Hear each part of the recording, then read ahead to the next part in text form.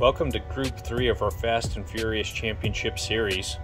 Got a great group of cars today. First up, from the Fast and Furious, we've got the 95 Mazda RX-7. And then from the Fate of the Furious, we've got the 71 Plymouth GTX.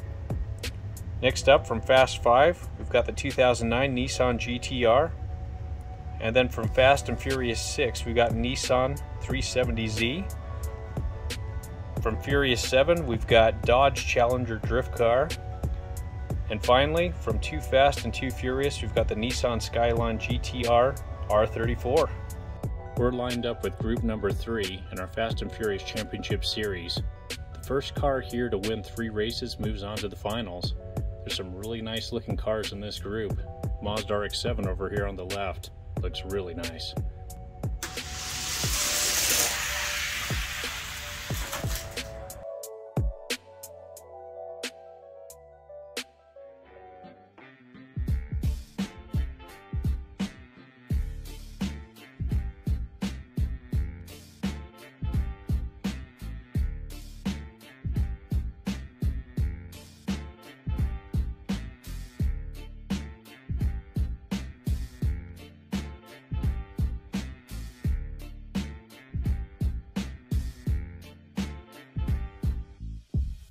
The Dodge Challenger drift car took that race. Looking pretty nice. We're set for race number two. So far, the Dodge Challenger drift car over in lane number five has taken a race. Two more wins and he moves on to the finals.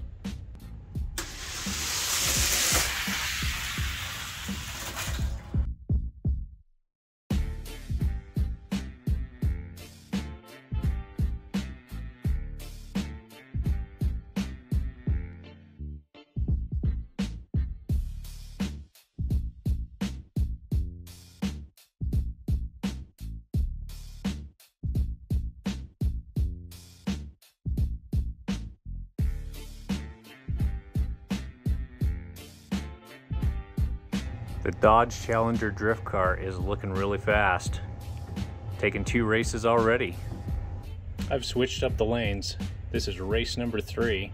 So far, the Dodge Challenger drift car over in lane number three has taken two races. One more, he moves on to the finals.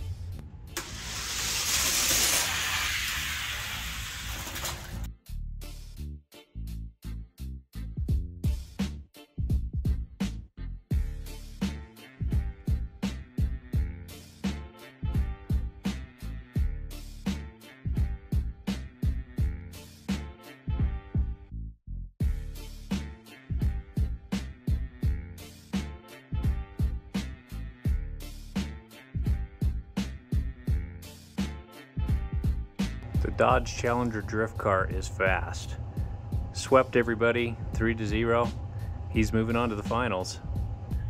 Here are the cars that haven't moved on to the finals. All really good looking, but just not quite fast enough. And here are three cars that have moved on to the finals. We've got the Chevelle, the gray car up in the upper right, Ford GT40, the blue car, and now we've got the Dodge Challenger drift car. All right, stay tuned. We've got more races coming your way. You'll want to see who's the fastest of all the Fast and Furious cars. Thanks for watching.